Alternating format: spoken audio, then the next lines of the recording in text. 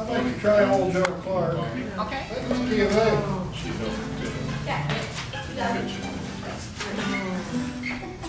There you go. Three. You're.